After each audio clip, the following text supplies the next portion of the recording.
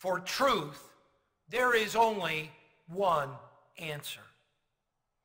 The Apostle Paul wrote in Colossians chapter 2 this warning to the first century church. This is verse 6. As ye have therefore received Christ Jesus. Notice he was speaking to people that had received Christ Jesus the Lord. So walk ye in him, rooted and built up in him, and established in the faith. Now notice in Ephesians 4, he said there's one faith. And here in Colossians 2, 6, he says, be established in the faith, as you have been taught, abounding therein with thanksgiving. Then he said, Beware, lest any man spoil you through philosophy and vain deceit, after the tradition of men, after the rudiments of the world, and not after Christ. For in him dwelleth all the fullness of the Godhead bodily.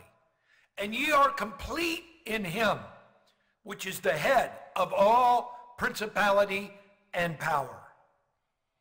The New Young's literal translation says, in regard to verse 8, See that no one shall be carrying you away as spoil through the philosophy and vain deceit, according to the deliverance of men according to the rudiments of the world and not according to Christ.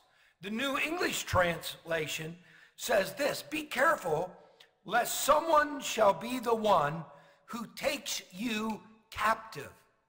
So the apostle here is writing that there would some that would be taken away from the faith. They would be taken as captives or they would be spoiled through the philosophies of men and not after Christ. The Apostle Paul also addressed the churches of Galatia in Galatians chapter 1 in this way. I marvel that ye are so soon removed from him that called you into the grace of Christ unto another gospel, which is not another. But there be some that trouble you and would pervert or twist the gospel of Christ. But though we or an angel from heaven preach any other gospel unto you than that which we have preached unto you, let him be accursed. And as we said before, so say I now again, in the point of emphasis, if any man preach any other gospel unto you than that ye have received, let him be accursed. Further, the apostle went on to explain that his doctrine was not of man, but rather it was of God. In verse 11, Galatians 1.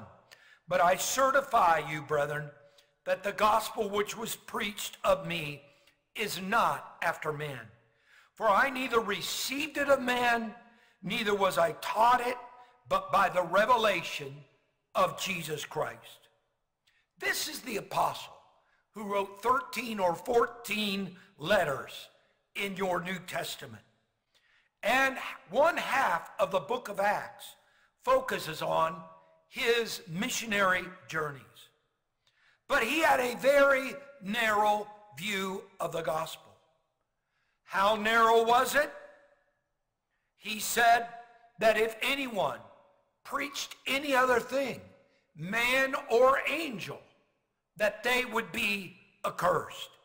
He was so confident in his gospel that he preached that he said, the gospel that I received, I did not receive it by man, nor was I taught it, but I received it by a revelation.